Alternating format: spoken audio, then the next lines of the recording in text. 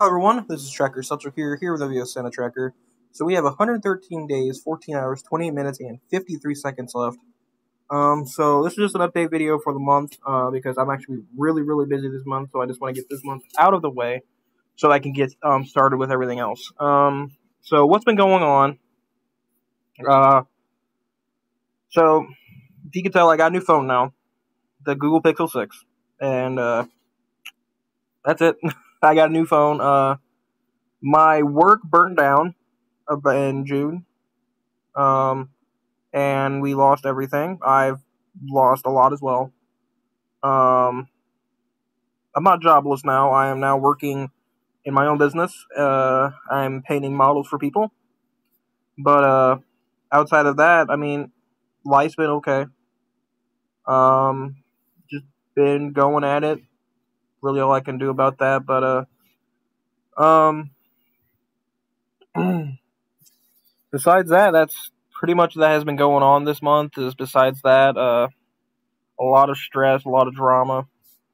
Uh, I'm not getting anything out back from the uh, the fire that happened a few months ago in June 30th, actually. Um, but as of right now, everything is okay.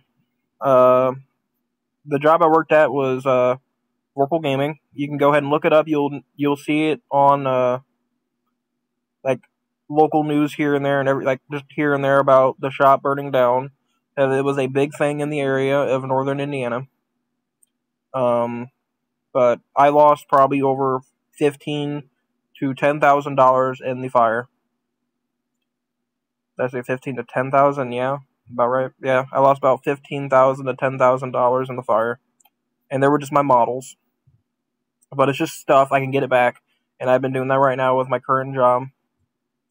But uh, outside of that, uh, really nothing much has been going on outside of just working and Twitter and YouTube and such, and that's pretty much it. But I'm still grinding. Um, I was talking about quitting tracking.